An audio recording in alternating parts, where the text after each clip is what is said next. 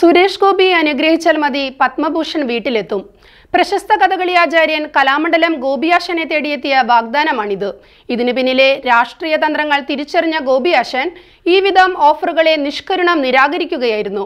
കലാമണ്ഡലം ഗോപിയുടെ മകന്റെ രഘു ഗുരുകൃപ എന്ന ഫേസ്ബുക്ക് പോസ്റ്റിലൂടെയാണ് ഈ വിധം സംഭവവികാസങ്ങൾ പുറം ലോകമറിഞ്ഞത് പത്മശ്രീയും പത്മഭൂഷണുമൊക്കെ ഒപ്പിച്ചെടുക്കാനായി കോടികൾ ഒഴുക്കാനായി കാത്തിരിക്കുന്ന പ്രാഞ്ചിയേട്ടന്മാർ ഒട്ടേറെയുള്ള നാടാണ് നമ്മുടേത്.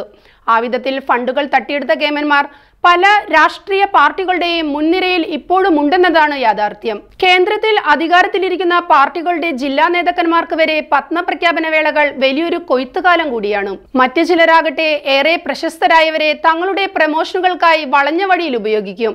ആ ഉദ്ദിഷ്ട കാര്യത്തിന് ഉപകാരസ്മരണയായി ഏതെങ്കിലും അംഗീകാരങ്ങൾ ഒപ്പിച്ചു നൽകുകയും ചെയ്യും. തൃശൂരിലെ എൻ ഡി എ സ്ഥാനാർത്ഥി സുരേഷ് ഗോപിക്കായി ചിലർ പ്ലാൻ ചെയ്ത പ്രമോഷൻ പദ്ധതിയാണ് ഇപ്പോൾ ഈ വിധത്തിൽ ചീറ്റിപ്പോയിരിക്കുന്നത്. വ്യക്തമായ ജീവിത വീക്ഷണവും രാഷ്ട്രീയ ബോധ്യവുമുള്ള കലാകാരനാണ് കലാമണ്ഡലം ഗോപിയെന്ന് തിരിച്ചറിയാത്ത ഏതോ നേതാവിന്റെ ബുദ്ധിയിലുദിച്ച ആശയമാണ് ഇപ്പോൾ അവർക്ക് തന്നെ തിരിച്ചടിയായിരിക്കുന്നത്. ഗോപിയാശനെ ചികിത്സിച്ചിട്ടുള്ള പ്രശസ്തനായ ഒരു ഡോക്ടർ വഴിയാണ് ഇതിനുള്ള കരുനീക്കങ്ങൾ നടത്തിയത്.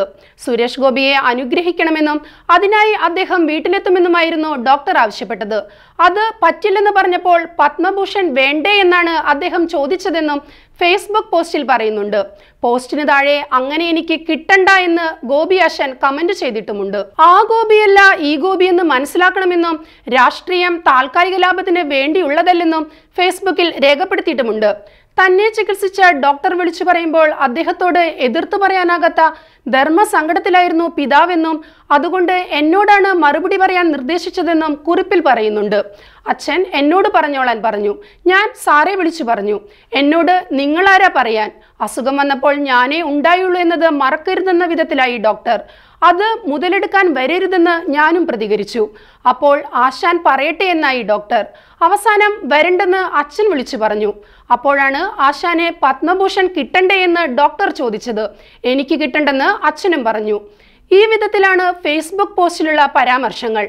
ഈ കുറിപ്പ് വ്യാപക ചർച്ചയാവുകയും വിവാദമാവുകയും ചെയ്തതോടെ പോസ്റ്റ് ഡിലീറ്റ് ചെയ്തിട്ടുമുണ്ട്. അതേസമയം വിവാദത്തിൽ പ്രതികരണവുമായി സുരേഷ് ഗോപിയും രംഗത്തെത്തിയിട്ടുണ്ട്. കലാമണ്ഡലം ഗോപിയെ വിളിക്കാൻ താനോ പാർട്ടിയോ ആരെയും ചുമതലപ്പെടുത്തിയിട്ടില്ല എന്നാണ് സുരേഷ് ഗോപിയുടെ വാദം.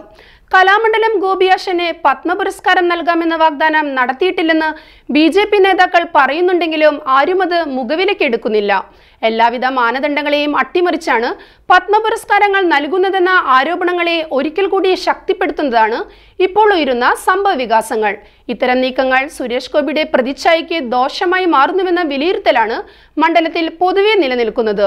അതോടൊപ്പം പത്മഭൂഷൺ വാഗ്ദാന വിവാദത്തെ തെരഞ്ഞെടുപ്പ് പോരാട്ട വിഷയമാക്കി മാറ്റാനുള്ള നീക്കങ്ങളാണ് L D F U D F മുന്നണികൾ മണ്ഡലത്തിലുടനീളം ആരംഭിച്ചിട്ടുള്ളത്.